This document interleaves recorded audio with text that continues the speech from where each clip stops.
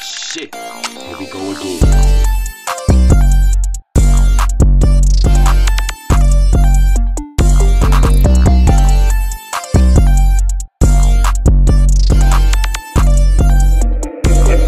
Why this beat now?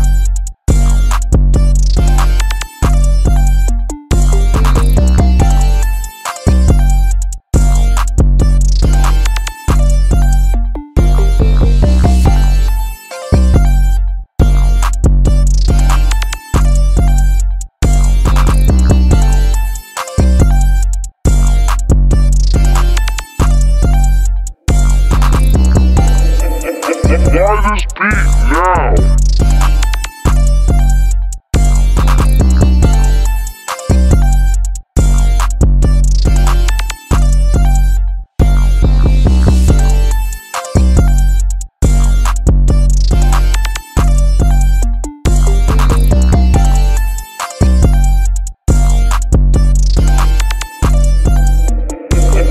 Why this beat now?